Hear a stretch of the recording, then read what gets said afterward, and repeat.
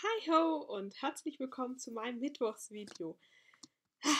Mal wieder etwas altmodisch, etwas zurück zu den Anfängen. Wie jeder, der mein erstes Video kennt, weiß, ist das der Hintergrund, in dem ich mein erstes Video aufgenommen habe. Und meistens bin ich ja jetzt in meinem Zimmer, aber weil ich heute einen Gast habe, bin ich heute im Wohnzimmer. So, das klingt jetzt etwas verworren, aber ja, ähm, wie immer werde ich euch sagen, was heute mein Thema ist und wie ich darauf gekommen bin. Und mein heutiges Thema ist so das Zusammenleben zwischen einem Asperger und einem normalen Menschen. Also nicht, dass wir Asperger nicht normal sind, aber jemanden, der eben kein Asperger hat. Und ich vertaddel mich schon wieder. Es tut mir leid. ähm, wie ich auf das Thema gekommen bin, ist, weil gestern hatte ich durch Zufall hat meine Mutter mir von einer Debatte erzählt und dass da so viele Leute viele Ansichten hatten und darum diskutiert haben um, um ja, um Kaisers Bart und dabei irgendwie was ganz, was für mich was ganz Normales in der Denkweise war, nicht beachtet haben. So. Das klingt jetzt irgendwie noch komischer. Aber okay, das war jetzt mein Anfang.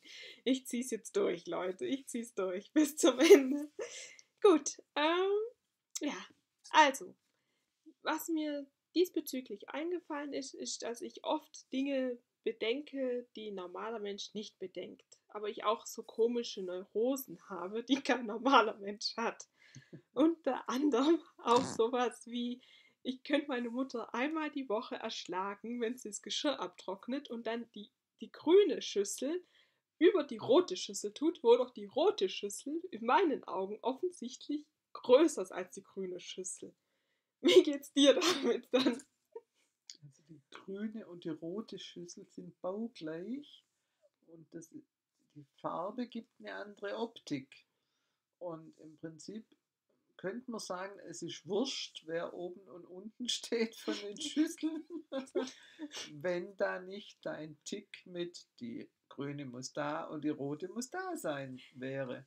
Ich möchte noch zu meiner Verteidigung sagen, die rote Schüssel hat mehr Platz innen im Raum und die grüne Schüssel ist innen ein bisschen kleiner. Das kann sich nur um Millimeter handeln, die ein anderer nicht erkennen kann. Es wäre möglich, ich widerspreche da jetzt mal nicht, vom Hersteller her ist die Schüssel als baugleich angegeben. Okay. Ähm, eine andere Sache ist, ich bin total neurotisch, wenn es um Tassen geht. Ich habe eine, also wirklich so, ich habe vier Gläser, ähm, die sind baugleich, wirklich. Die sind von derselben Art, aber zwei davon sind etwas ähm, Spülmaschinenmilchig geworden und zwei sind noch sehr klar. Und ich benutze zwei davon nie. Ähm, was wäre dann, weil ich eben immer möchte, dass die dann nicht benutzt sind für den Notfall, wenn die anderen mal kaputt gingen. Wie würdest du das machen? Also ich empfinde diesen Vorrat an, die zwei Klaren müssen da stehen und dürfen nicht benutzt werden, finde ich eine Platzvergeudung im Schrank, zumal wir sowieso nicht so viel Platz haben. Und ähm, ja, das ent, Dinge, die kann ich nachvollziehen, weil ich dich kenne, aber ansonsten nervt mich das. Dann natürlich die allseits bekannte Problematik des Sommers. Ähm, zu ohne Fenster. Ich habe bei mir ja immer das Fenster zu und ähm, sonst ist überall Sonnenlicht. Und meine Mutter ist jemand, die mag Sonnenlicht und braucht es auch bis zu einem gewissen Grad. Ich hingegen bin eher so eine ich bin eine total typische Kartoffel. Ich bin ein Nachtschattengewächs. Kann man nicht anders sagen. Höhlenmensch. Ja. Ach komm, Höhlenmensch, so primitiv bin ich da nicht. Aber ich bin total der Kartoffel-Nachtschattenmensch. Wie ist es für dich, wenn ich sozusagen da sitze und teilweise ja auch fordere, dass das dass dunkel ist, obwohl du das Licht brauchst?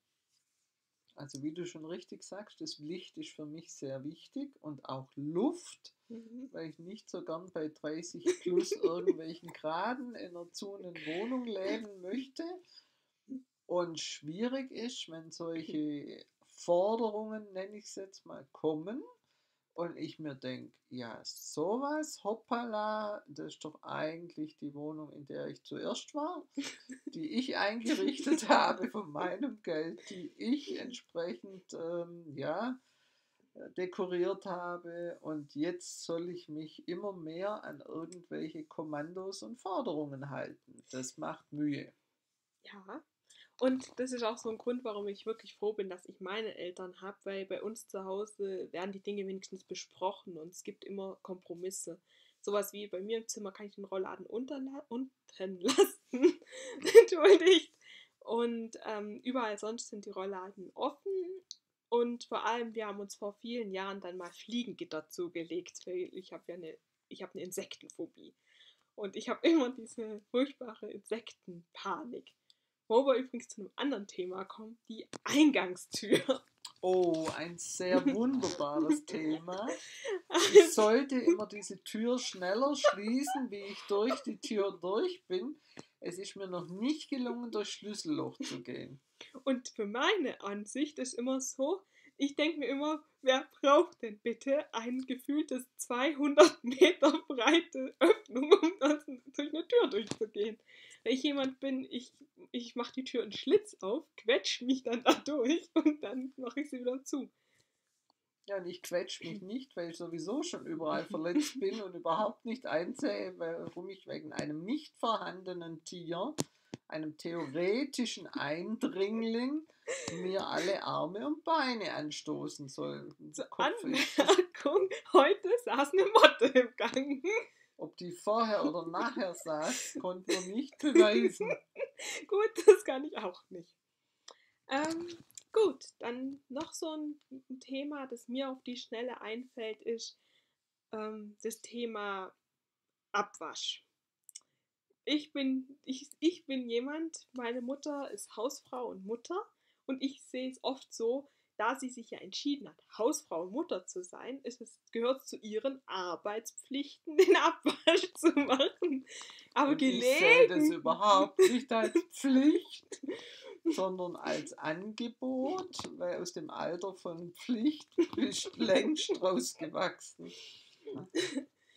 Also, und oft haben wir wegen sowas dann so, wegen solchen Kleinigkeiten kommen dann so Zerflereien, wo ich dann immer zu diesem übereilten Schluss komme, ein Asperger und Normalo können nicht zusammenleben. Das klappt nie. Und wenn ich dann sage, dann zieh doch aus, du Asperger, dann will man das aber auch nicht hören. Aber ich glaube, im Großen und Ganzen, wenn man sich einfach immer wieder im Gespräch miteinander ist und immer wieder bereit ist, Kompromisse einzugehen und immer versucht, irgendwelche Lösungen zu finden im Gespräch, dann kann man es wirklich wunderbar schaffen, zusammenzuleben.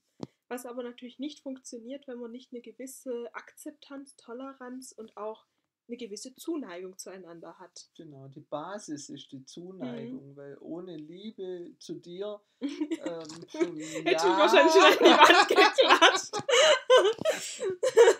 ja. Genau. Und das ist eben das Wichtige, was ich jedem raten möchte. Wenn ihr diese Gespräche führt, was euch stört, dann seid nicht so, dass ihr immer erstmal davon ausgeht, es kann ja gar nicht funktionieren. Es, es muss ja alles scheitern, weil sondern versucht einfach erstmal sowas zu machen, wie zu versuchen zu sagen, es muss nicht scheitern, nur weil ich bin, nur weil wir anders sind. Weil anders zu sein heißt nicht immer nicht versöhnlich oder irgendwie kompromissbereit zu sein. Oder? Schönes Schlusswort. Gut, dann schreibt dir so unter die Nase. okay. Ähm, ich möchte euch jetzt auf jeden Fall sagen, ich wünsche euch eine wunderschöne Woche noch. Wir sehen uns am Freitag wieder. Ihr könnt mir natürlich gerne auch schreiben auf Twitter oder auf Facebook oder eben auch hier direkt in die Kommentare oder eine E-Mail. Und mich würde mal interessieren, wenn ihr mit, mit einem Normalo als Asperger zusammenlebt oder als Normalo mit einem Asperger. Was sind denn so eure Probleme? Wo, wo hakt es bei euch? Und ja, Erzählt's mir einfach, würde mich mal interessieren. Ich wünsche euch eine wunderschöne Zeit. Bis nächste Woche. Nee, warte, bis Freitag. Tchau!